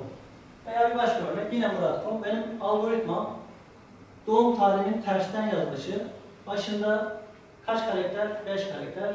Sonu neyle bitiyor? T ile bitiyor. Bir algoritma. Gördüğünüz gibi karışık bunu bir sene geçirdiği zaman hiçbir şey anlamayacak belki. Ama ben bu algoritmayı bütün sene uyguladığımda kaç tane şifrem olursa olsun hepsini doğrudan ne yapabileceğim? Hiç unutmadan, hiçbir yere kaydetmeden kendi algoritmamı da sadece kendim bildiğim için rahatlıkla gireceğim ve bu şekilde bir uygulamayı size rahatlıkla önerebiliyorum. Henüz bir handikapını yaşamadım. Bir de sosyal medyada birkaç güvenlikten bahsedeyim. En çok karşılaştığımız, işte hocam da bahsetti, devamlı verilerimizi paylaşıyoruz. Ben bir örneğini verdim, işte bir arkadaşımızın bütün bilgileri çalınmış. Tabii hangisi olursa olsun, hangi sosyal medya olursa olsun mutlaka oraların şu kullanım koşullarını ve buraları okumamız gerekiyor. Biz bunu hiçbir zaman yapmıyoruz. Aslında orada diyor ki bazılarında verileriniz üçüncü kişilere ne yapılacaktır, paylaşılacaktır. Çünkü çok bilgiler var. Ama tabii bunu yapmadığımız bir açık, açıkçası e, yapmıyoruz. Hemen kaydolma kısmına geldiğimizde bilgilerimizi girip kaydediyoruz. Ki bahsettim, güvenmediğiniz yere şifre verirken çok dikkatli olmanız gerekiyor. Bu işin bir diğer boyutu. Bir diğer boyutta paylaştığımız, burada bir video var biraz sonra göstereceğim. Paylaştığımız veriler. Ve en çok benim de hayrete düşüren ve gerçekten de anlamadığım bir konu. En önemli bilgimiz bankaları da aradığımızda annemizin kızlık soyadı. Hatta o kadar önemli ki sormuyorlar bile. Sadece diyorlar ki üçüncü ve beşinci harfini söyle veya biri, birinci ve ikinci harfi söyle. Oysa biz bu kadar önemli bilgiyi o kadar rahat paylaşıyoruz ki. Tabii sorunu biz yaşamayacağız belki. İşte burada örnekler var. Özellikle bayanlar evlendikten sonra soy isimleri değişse bile eski soy isimlerini de sosyal medyada veya başka yerde rahatlıkla kullanıyorlar. Ama onun sorunu kim yaşayacak? Belki çocukları yaşayacak. Çünkü çocuklar büyüdüğü zaman belli bir yaşa geldiğinde banka hesapları veya belli bilgiler elde annesinin kızlık soyadını çok rahatlıkla öğrenebilecekler ki bir başka örnek yine vereceğim. Bu da yine bizim öğrencilerin paylaşımı. Çok basit bir masum bir paylaşım. Birisi bir öğrenci paylaşmış. O kişiye dayısı bir yorum yapmış ve demiş ki dayım benim çok teşekkür ederim. E, dayım demesi zaten o kişinin annesinin kızıl soyadı otomatikman ne yaptı? Ele verdi. Yani biz farkında olmadan aslında annemizin kızıl soyadı birçok yerde paylaşıyoruz. Bu bize ne olarak geliniyor? Tabii bir dezavantaj, veri güvenliğimizi etkileyecek. Belki de birçok önemli bilgiyi çaldı, çalınacak hale getirecek bir handikap oluşturuyor. Dediğim gibi tek şansımız aslında şanssız olmayışımız belki. Eğer biz şanslı olmasaydık veya bu birçok insan gibi e, verilerimiz çok rahatlıkla banka hesapları veya diğer bilgiler rahatlıkla gidilebilir, gidebilir diyorum. E, ve çok uzatmak istemiyorum. Kusura bakmayın tekrar. Sorularınız varsa alayım. Maalesef çıkmam, müsaade ederseniz çıkmak istiyorum. Peki hocam, e, bilgisayar ortamı mı mobil veri mi daha güvenli? Şimdi aslında hem dediğim başta da bahsettiğim hiçbiri güvenli değil. Siz tabii mobillerde şu ayrıcalıkları yaşayabilirsiniz. Güvenliğiniz uygulamalar olduğu sürece mesela özellikle Android ve iOS'ta bu tür şeyler var. Mesela Android uygulamaların %95 civarı, 96 civarı güvenli ve içerisinde %4 civarı güvenli olmayan uygulamalar var. Onun için Android veya iOS kullanımıza da bağlı olarak değişebiliyor. Ama dediğim gibi internete bilgisayarınız bağlıysa ve internet ortamdaysanız bütün verileriniz güvensizdir benim açımdan. Şey, Ben teşekkür ederim. Müsaadenizi tekrar istiyorum. Müsaade ederseniz çıkmak istiyorum.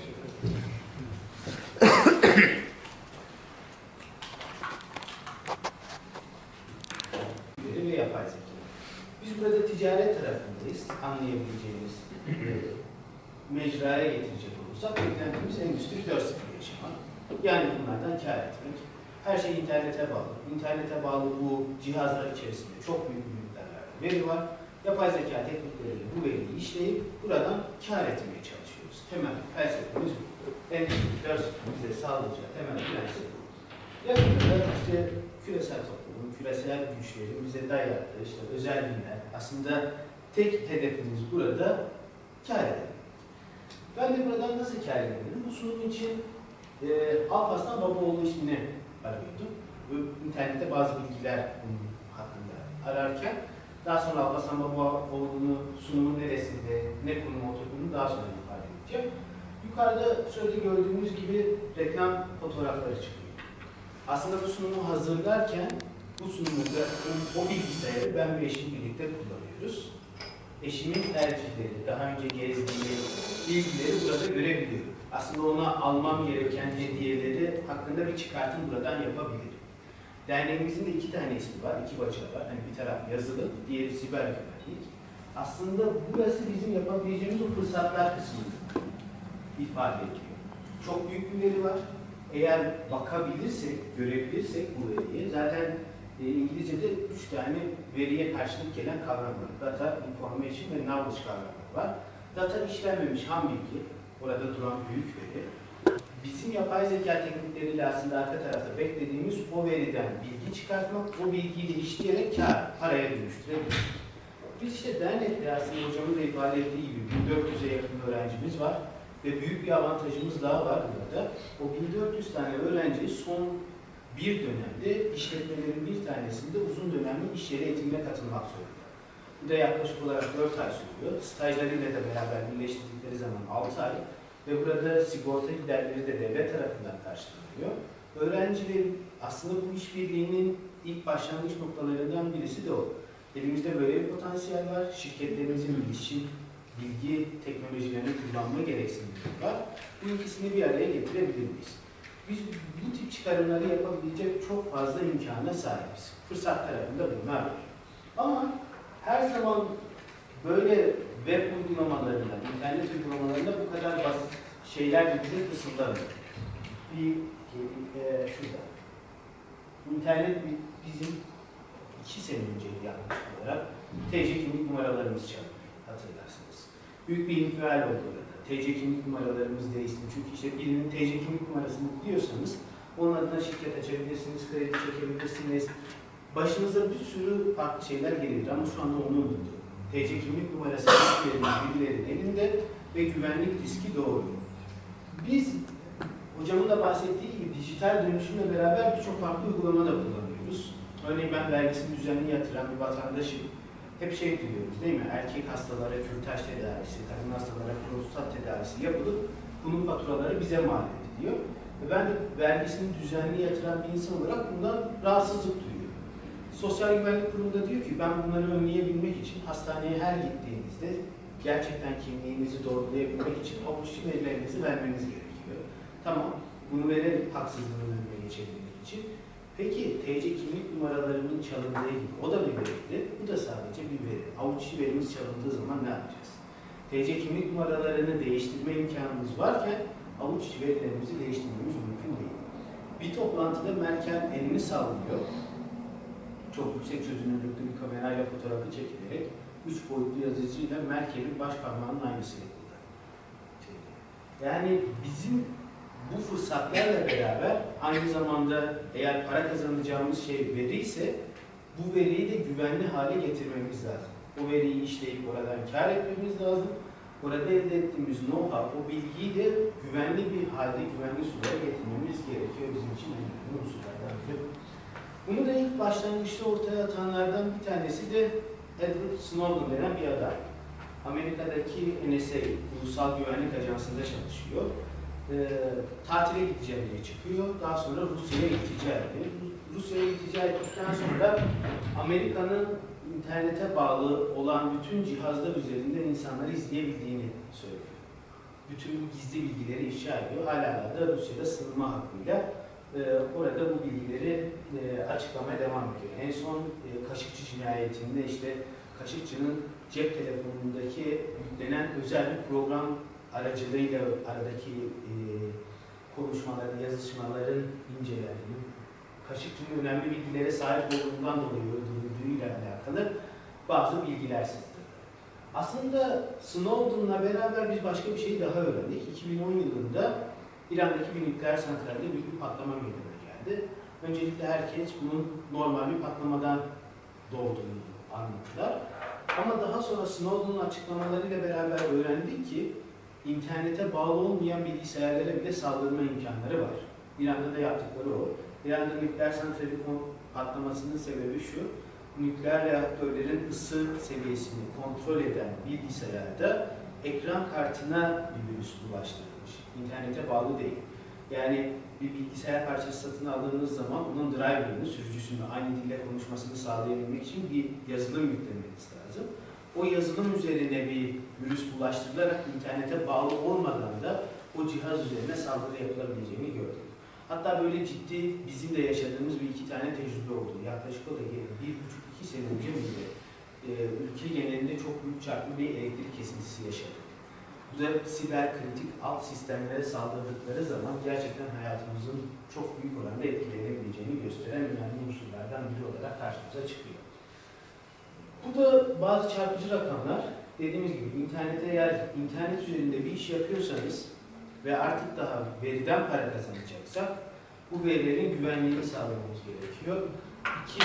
2017'de 1 milyondan fazla e, siber saldırı olduğunu anlıyoruz. E, saniyede 5 zararlı yazılım üretiliyor. Hocamın da dediği gibi az önce. Hani bugüne kadar üretilen veri, bu yıl içerisinde üretilen veri, bugüne kadar üretilen verilerden iki kat daha fazla. Bir de o veriye işte saldırı yapmak isteyen yazılımlar da 5 saniyede bir artıyor. 2019 yılında bu zararlı yazılımların 1 milyar ulaşması bekleniyor. Büyük hedef 50 milyar dolarlık bir zarar.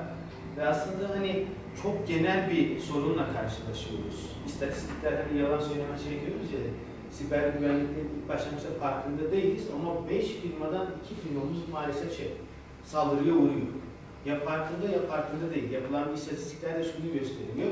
Firmaların %68'i Türkiye'de bu siber saldırılardan etkilenmiş. Bunlardan %34'ü farkında önlem almış. Yüzde geri kalanı e, siber saldırıya uğramış ama hala da bunun bir önlem almıyor.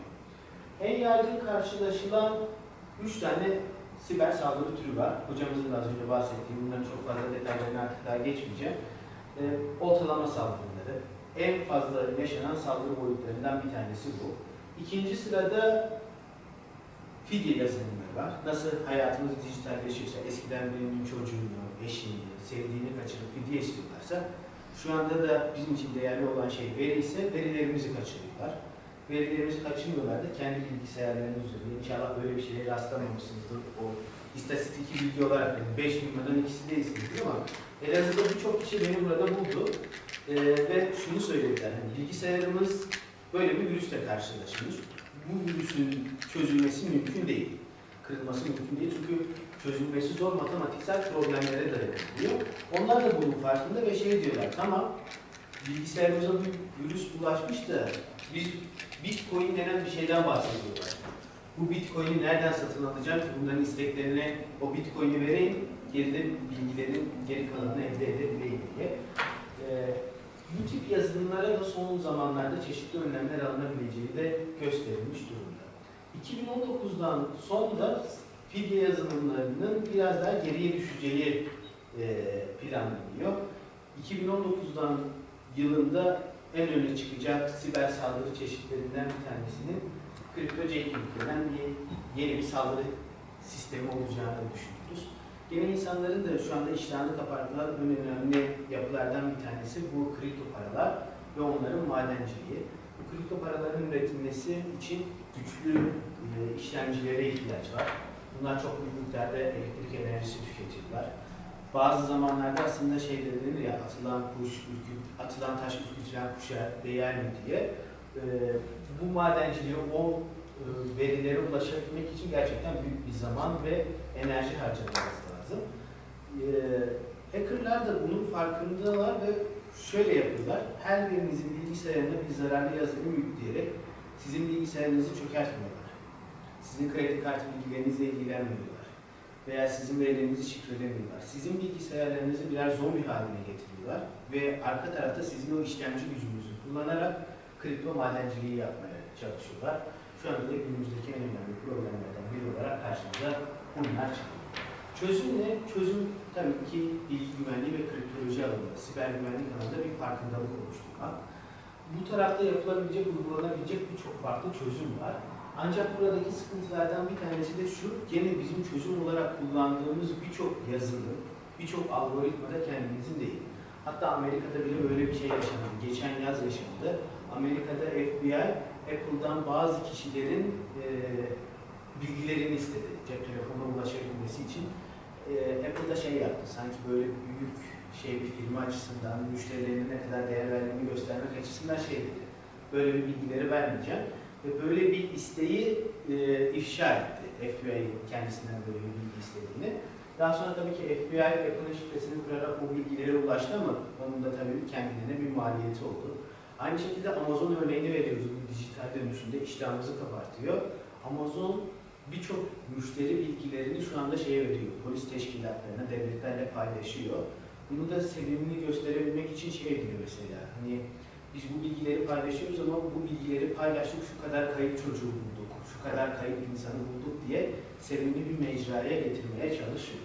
Onun için biz kendi milli çözümlerimizi de geliştirmemiz lazım. Ama bu geliştirdiğimiz çözümlerin de belli standartlara uyması gerekiyor.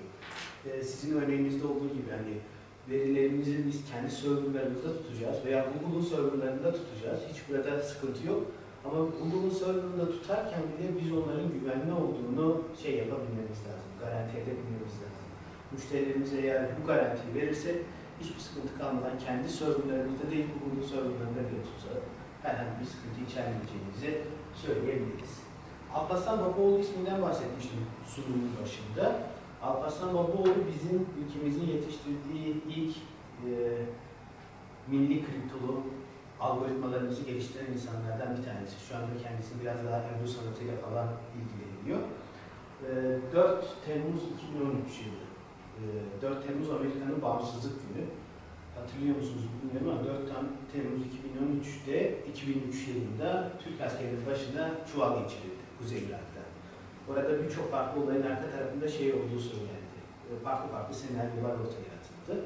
Ama bunu bir toplantıda Alparslan Babaoğlu ifade etti. Alparslan Babaoğlu orada şunu söyledi. Bizim orada bir milli geliştirdiğimiz kriptoloji cihazımız vardı. Algoritma çok güvenliydi. 4 Temmuz tarihi özel bir tarih. Bağımsızlık günü ve Cuma günüydü. Amerika'da tatildi. Biz e, diplomatik ilişkilerimizi, diplomatik bağlantıları kurup o askerlerin serbest bırakılmasını sağlarken arada çok uzun bir zaman geçti. O uzun zaman içerisinde bizim o milli kriptoloji cihazımızın alınıp fiziksel yöntemlerle incelendiği, çeşitli saldırılar yapılarak arka tarafındaki algoritmanın çıkartılmaya çalışıldığı da başka bir şey olarak söylendi, ifade ediliyor. Yani biz sadece kendi verilerimizin değil, e, ülkemizin bekası, milletimizin devamı için de gelip bu alanda siber e, alandaki uygulamalara özen göstermemiz gerekiyor. Basit çözümlerimiz var aslında. Hani dediğimiz gibi şu anda firmalarımızın hiçbiri belki bu çözümlere dikkat etmiyor. Ama biz kendi elimizdeki bu öğrenci potansiyelini, elimizdeki bu bilgiyle firmalara yönlendirerek bunların siber güvenlikteki e, dirençlerini belli bir seviye üzerine getirebiliriz. Belki bir protokol yapıldıktan sonra şunu e, elde ederiz. TÜİK kurumunda bu ver- veriler var elimizde. 2018 yılında Elazığ'daki firmalarımız, ESO'ya kayıtlı firmalarımız ne kadar siber saldırı yaşadı? Biz böyle bir işbirliği yaptıktan sonra bu saldırılar hangi seviyeye indi diye burada bir pilot çalışma yapıp bunu daha sonra Odalar Borsalar Birliği çerçevesinde daha da genişleterek ülkenin siber güvenlik alanında daha da bilinçlenmesini sağlayabiliriz. Ben sıkılmamanız açısından da birazcık bazı alanlara hızlı geçtim. Sorularınız varsa cevaplamaktan çok mutlu oluruz. Teşekkür ederim hocam. Çok bilgi.